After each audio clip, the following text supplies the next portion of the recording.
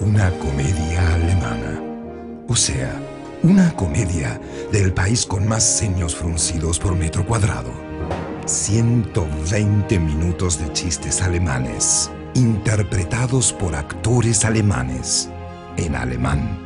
Sí, en alemán.